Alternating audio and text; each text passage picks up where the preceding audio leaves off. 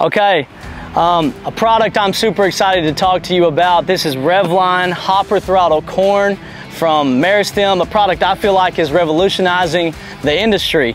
Um, it's unique, and let me explain to you why it's unique. Inside, there's a carrier of an 80-20 talc graphite blend.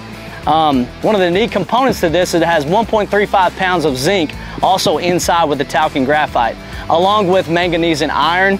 All of those are super important and designed for, for early for a corn crop, um, specifically for corn. Now, um, along with that, we have the biocapsule technology that is patent pending from Meristem. This white capsule contains azobacters, uh, which would be nitrogen fixing bacteria. It contains some bacillus strains and also a trichoderma. On this side, uh, this, this biocapsule here, it has a product called Terrastim, which is a biostimulant.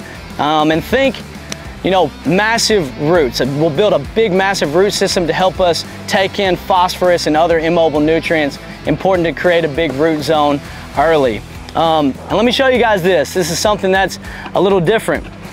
Take a sneak peek on the inside. You can see that is, we know it's important to keep biology separate from talc and graphite. It can't live very long in that environment. So we place it in these biocapsules. And then when you're ready to go to the field, this one's already been pulled, but there will be a red stopper here that you pull out and you push. It's kind of a two-step system, a push-push kind of deal.